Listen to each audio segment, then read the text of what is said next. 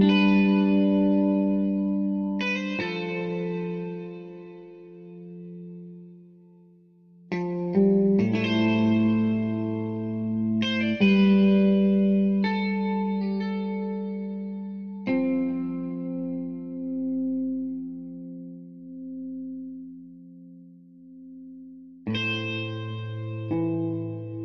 mm -hmm. you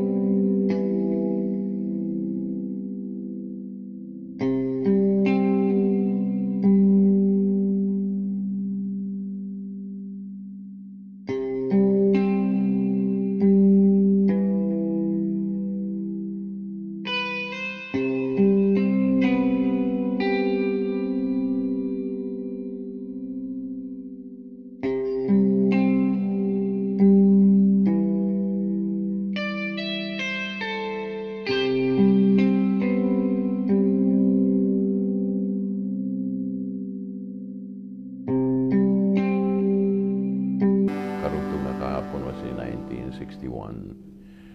But I always wanted to be a director. So I said to myself, uh, probably it'll take 15 years before I will be able to direct. But uh, luckily, uh, it only took 12 years. Bakit lumalabas ka ng tuwalya? Ano gusto mangyari? Makita yung balon-balon mo nito?